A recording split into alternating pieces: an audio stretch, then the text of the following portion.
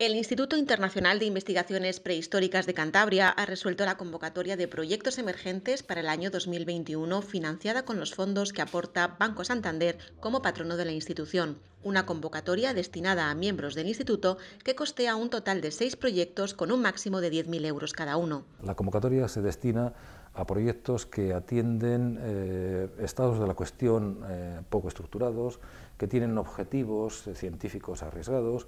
eh, que, forman, que son proyectos parciales dentro de proyectos más amplios o proyectos que requieren de apoyos técnicos o de técnicas particulares. En este curso, este año, los proyectos emergentes se van a destinar a una amplia gama de cuestiones, por ejemplo, a cuestiones relacionadas con la conservación de las cavidades en las que se contienen materiales arqueológicos o evidencias gráficas paleolíticas interesantes. se va a ocupar también de cuestiones en ámbitos internacionales, proyectos en Patagonia, o en Próximo Oriente, o proyectos que tienen que ver con desarrollos, con técnicas, eh, con tecnologías del Paleolítico que son específicas y que son, forman parte de la tradición de investigación del Instituto. Una convocatoria que despierta el interés de los investigadores del Instituto Internacional de Investigaciones Prehistóricas de Cantabria, ya que permite sufragar proyectos que no encajan en las convocatorias competitivas convencionales. El programa de los proyectos emergentes subvencionado por el Banco Santander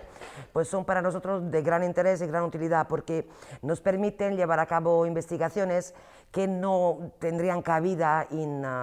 proyecto de otro tipo de programa, como por ejemplo programa Plan Nacional o programa europeo.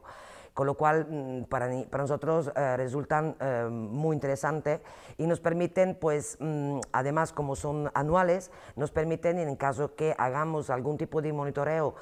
monitorización de las cuevas, em, nos permiten llevarla a cabo año tras año, con lo cual tener un seguimiento de los datos que estamos recopilando dentro de las cavidades kársticas.